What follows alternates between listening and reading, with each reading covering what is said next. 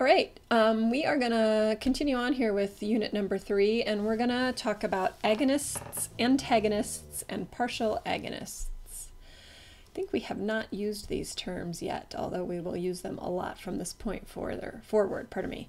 So in the last um, video, we talked about the receptor theory of drug action, and I said that most drugs work by interfacing with a receptor in some way, whether they're stimulating that receptor or blocking that receptor. So the question here on the screen asking if drugs stimulate or inhibit normal receptor activity, well, the question, the answer to that would be, I just said it, would be either really or both. It depends on the drug. So there are drugs that will stimulate a receptor, and those are called agonists.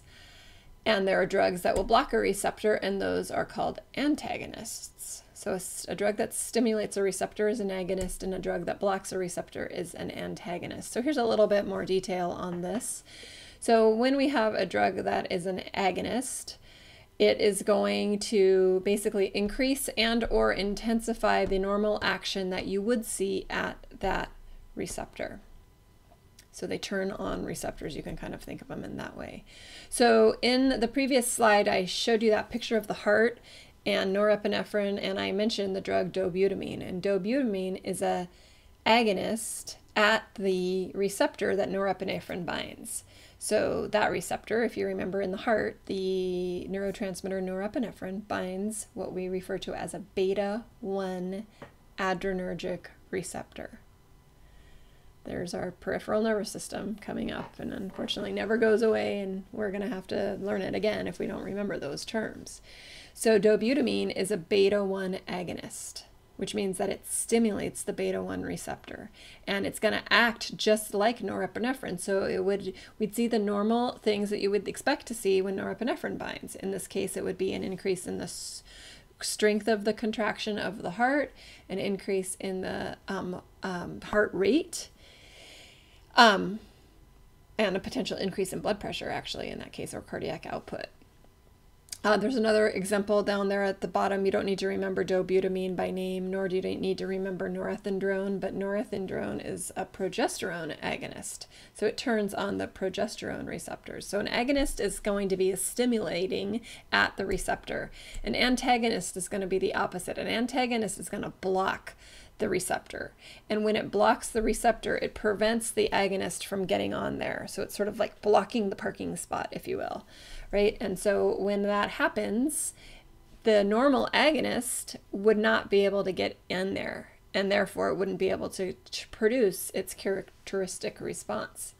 So a good example that's probably fairly familiar to most of us is an, our antihistamines, like Benadryl. So an antihistamine is a drug that blocks the histamine receptors and thereby suppresses the action of histamine. So the deal again with these endogenous chemicals like histamine, so we've got histamine that's released by our mast cells or our basophils and all over the place, right? It's a cytokine. And a histamine is a local communicator, if you remember, it's a signaling molecule. And the way the signal works is by the histamine binding the histamine receptor. And when that happens, wherever your histamine is released and it binds the histamine receptor, it causes the normal kinds of things we would expect when histamine get, receptors get hit, which in the case of an allergic sort of a situation, itching, you know, swelling, uh, maybe mucus production, you know, all of those kinds of things.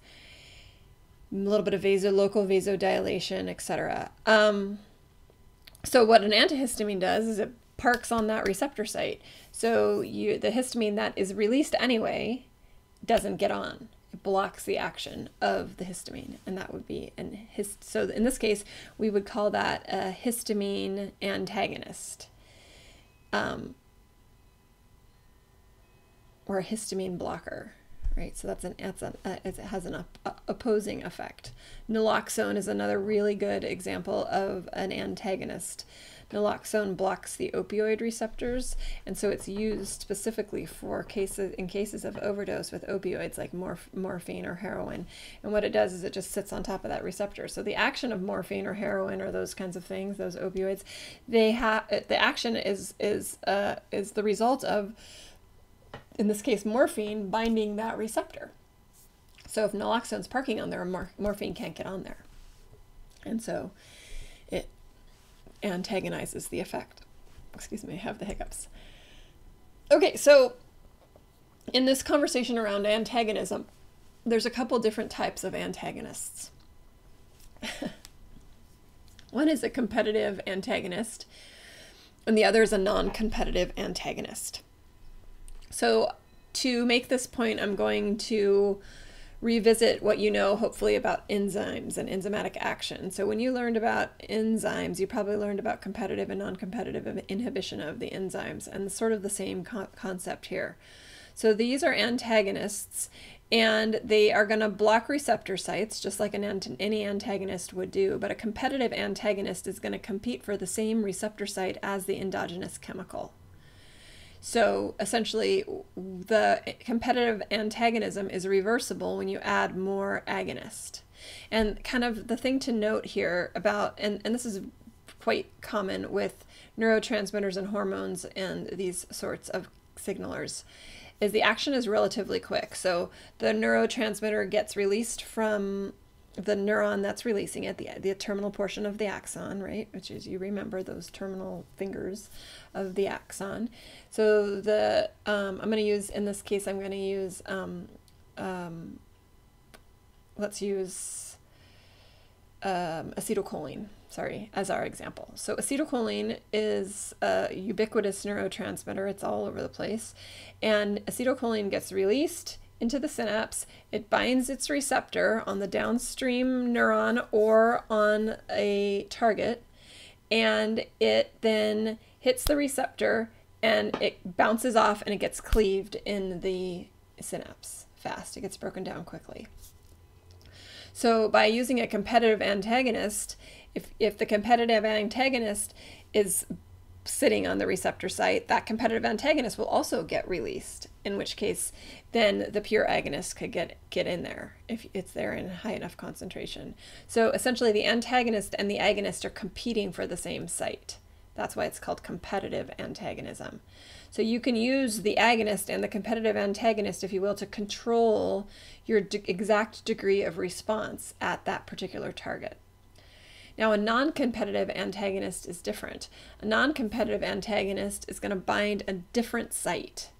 And when it binds that different site, what it does is it causes a conformational change in the receptor, which is just a protein, and it changes the, the, the actual binding site, the active site. So this is very similar to what you learned about with enzymes when you have a non-competitive when you have non-competitive inhibition. So remember the deal with receptors and proteins in general is they're super structural, right? They're really really structural molecules. And if you change the site, the binding site, the active site, then the true agonist won't be able to get on there for as long as that non-competitive inhibition is happening or for as long as that non-competitive antagonist is happening. So we think about this as being more or less irreversible for the life during the the life of that protein. Okay, so competitive and non-competitive antagonism, they're both examples of antagonism. It's just where the antagonist is sitting. If it's if it's competing for the same active site, we call our binding site, drug binding site or receptor binding site, we call that competitive antagonism. If it's binding a different site and changing the shape of the active site, that's non-competitive antagonism. In that situation, you could, if the site, the binding site, the active site is altered, you could dump all the agonist you want in there and it's not going to be able to fit. It's like changing the deadbolt, right? It's like changing the locks. So you go with your key, you know, and you're not going to be able to get in there regardless.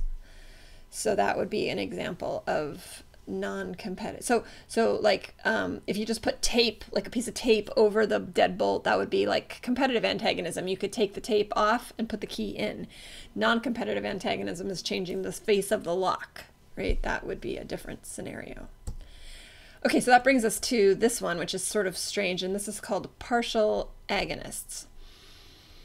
So these are a little bit interesting. They are kind of they're they're both stimulating and inhibitory. So it's an it's a compound which can increase or intensify the activity at a receptor, and in that case, it's called an agonist. So it does stimulate the receptor, but not as much as a pure agonist, the true agonist, would stimulate it. So it's like a weak agonist. But as it's sitting there, it's also blocking the receptor so the true agonist can't get in there. And so in that case, it is like an antagonist. So it's both. Sometimes in drug reference books, they refer to these as agonist slash antagonists, right? So they're both agonist and antagonist. So you can see that here. They they have them listed. It's so here's are the examples that we just talked about. So it, here's the true agonist, right? And so here's our dose response curve. You can see you administer it, you see an effect. That's what you would expect. Let's flip down here to the antagonist. You administer the antagonist, you don't see any effect. That's what you would expect. With the partial agonist, you see it, you administer it, you see about half the response. So it does produce a, an effect, but not as not as robust as the agonist. And then the agonist plus antagonist, which is kind of the same thing. You know, again, they refer to these sort of as the same thing, and it's the exact same response. So those are agonists, antagonists, partial agonists, and um, agonist plus antagonists. So here's another example of a um, of a um, uh, pardon me. what am I talking about? It's a um, partial agonist. So what we're looking at here are um, a couple different charts. And we're looking specifically this drug, which is called Talwin, which is right here. And essentially, when Talwin is administered on its own, it occupies the same receptor site as an opioid would. Here's our opioid, morphine. But it is not going to stimulate it as much, but it will have some response, which in this case, the response we're looking at is to the degree of pain relief. But if a patient is taking this drug, which is Demerol, which is a full agonist, and they're given a large dose of Talwin, the Talwin is going to occupy some of the pain receptors as well. And it, they won't get the full benefit of just the meperidine on its own, if you make it at the Demerol on its own. So it modulates the response. So one of the benefits of, and then you can see the the um, difference between um, uh, morphine and um, meperidine in terms of potency. So morphine's a lot more potent, but they're equally efficacious, right? So morphine is a pure agonist as well. Um, efficacy, you can see the efficacy of, of Demerol is, is more efficacious than Talwin, which you would expect because this is a partial agonist, right? So that's kind of what we're looking at here in this particular picture. So that's a partial agonist. We're not going to talk a lot about partial agonists because they're they're not used that much. They're really used the the uh, what comes to mind in terms of the most frequent use of partial agonists are in pain management, which there is a lot of utility in that setting, and we'll talk about that when we talk about that in Unit Six. Um, there are some other partial agonists which are sort of interesting, like the drugs that are used for smoking cessation. A lot of those, like Chantix, I believe, is is one. That's a very bizarre drug. It causes all kinds of strange side effects, but it's a partial agonist at the nicotine receptor. So it gives the body uh, a little, like it, it makes it feel like it's having some of the effect of nicotine without a pure stimulation of those nicotine receptors. But outside of that, there's not a lot of we don't use partial agonists that much. So we won't talk about them very often, with the exception of the pain situation. Um, all right, so most uh, most drugs are going to work by receptors, like we talked about. Some are not, and there's a couple examples of some drug actions that are not mediated by receptors.